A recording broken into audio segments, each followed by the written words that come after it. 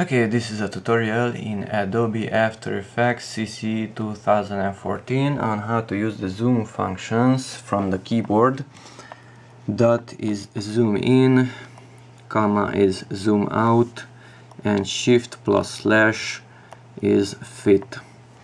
So let's zoom in with the dot, zoom out with the comma, and shift plus slash will fit the video to the screen okay that's it. Thanks for watching. And bye bye